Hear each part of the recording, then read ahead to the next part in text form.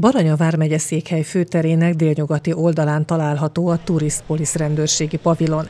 Információs anyagok és segítő szakemberek lépnek kapcsolatba az érdeklődőkkel. Én nem ismertem ezt a Police Tourist, de most elmondta a rendőrhölgy, hogy, mi a, hogy nem csak a fényfesztivál miatt vannak itt, hanem tájékoztatják a lakosságot, úgyhogy mi nagy örömmel vettük, mert az unokám rend, nagyon szereti a rendőröket, meg a rendőrautót is megmutatták neki, úgyhogy most nagy élményben van részünk éppen. A Police egy olyan rendőrségi kezdeményezés, amely a városba látogató hazai és külföldi turisták biztonságának és tájékoztatásának javítását segíti. A pavilon szolgáltatása többnyire a helyi látványosságokkal kapcsolatos információ nyújtása, illetve bármilyen felmerülő probléma esetén segítségadása.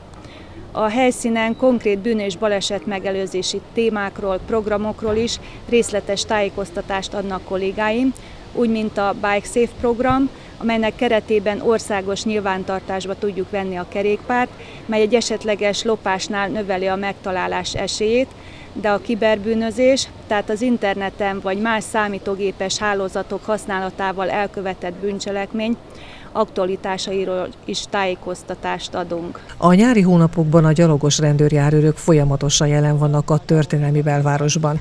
Egyrészt a pavilonban dolgozó rendőrségi munkatársak, valamint a fiatal turisztpolizosok munkáját segítik, másrészt a közbiztonságra felügyelnek. A pavilonnál lehetőség van iskolaőrnek és határvadásznak is jelentkezni.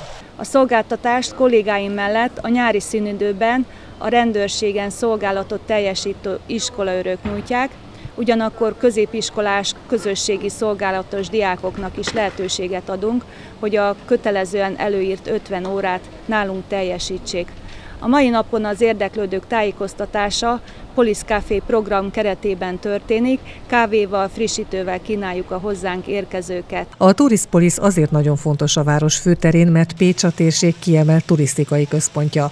A több éve zajló sikeres rendőrségi programot Pécs város önkormányzata, a Zsónai Örökségkezelő Nonprofit Kft. és a Pécsi Áldozatsegítő Központ támogatja.